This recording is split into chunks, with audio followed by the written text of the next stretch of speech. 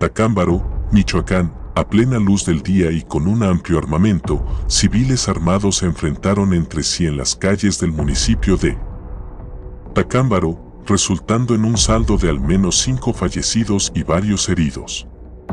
Además, los disparos alcanzaron tanto a elementos de la policía como a civiles que transitaban por la zona.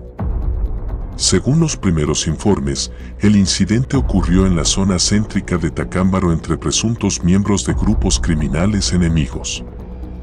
Hasta el momento, no se ha emitido un informe oficial sobre los acontecimientos. Sin embargo, se ha divulgado que al menos cinco individuos perdieron la vida durante el enfrentamiento. En las redes sociales se han compartido imágenes de los sucesos en las que se pueden ver a individuos armados involucrados en un tiroteo.